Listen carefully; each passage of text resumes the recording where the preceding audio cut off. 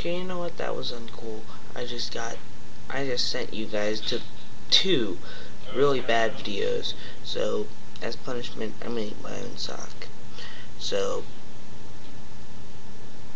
click the new link to watch me eat the sock. Yeah, I was wearing it like yesterday. I was like running around for like hours, so it's like really sweaty. I deserve this. I really deserve this.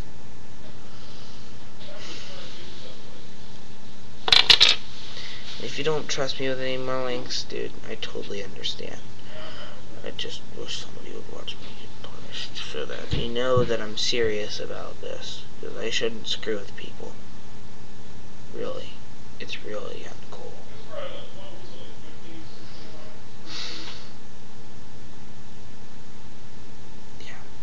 just get on with it.